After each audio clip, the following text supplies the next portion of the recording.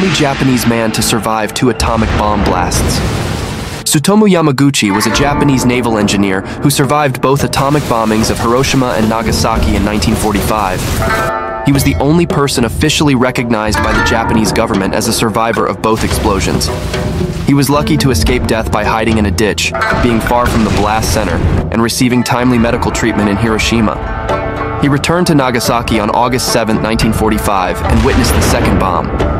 He was again fortunate to be in a reinforced concrete building and far from the blast center in Nagasaki. He was not severely injured by the second explosion, but he was exposed to a higher dose of radiation.